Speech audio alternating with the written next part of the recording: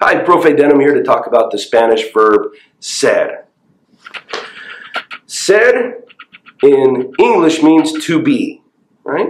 So you would use ser if you wanted to talk about, you describe yourself like I am, or if you wanted to ask somebody a question about themselves, like, are you?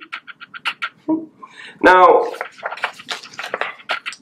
ser is used for descriptions, to talk about possession, origin, where somebody's from, and time. Right? What time is it?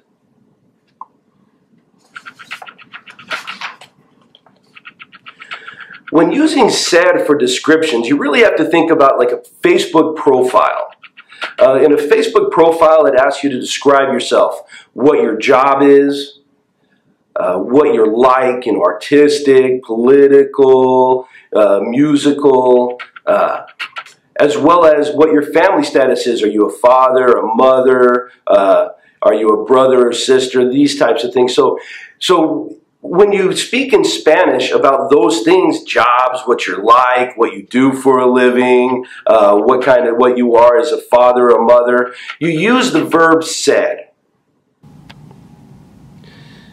In order to change the verb ser so that it makes sense, you have to conjugate it. So the conjugation in the different forms are yo soy, I am, tú eres, you are, él or ella, he or she is, or Juan is, is él and ella es, nosotros somos, we are, and they are, or you all are, is son.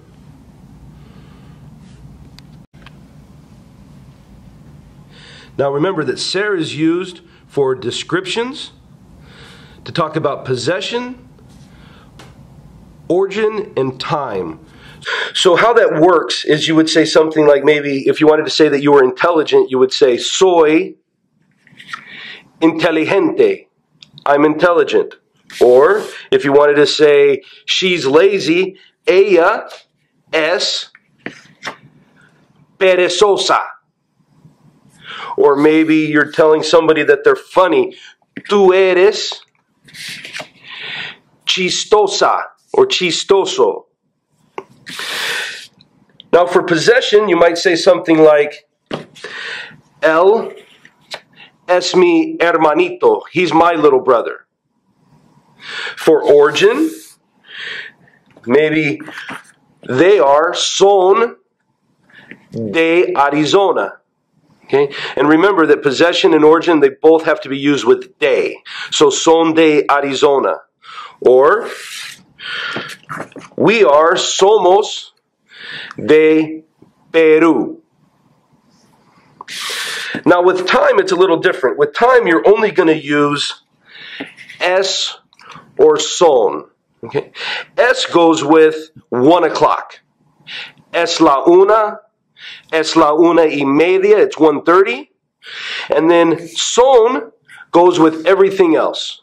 Son las dos, son las tres, son las cuatro, son las cinco. It's five o'clock. Right? So that's how telling time works. All right, as a recap, remember that ser means to be. Okay? It is used for descriptions, possession, origin, and time. When you're talking about descriptions, remember, think Facebook profile. All the things you use to describe yourself or learn about other people in a Facebook profile is what you would use ser for. If you have any comments or questions, you can either contact me at Senor Denham or comment below.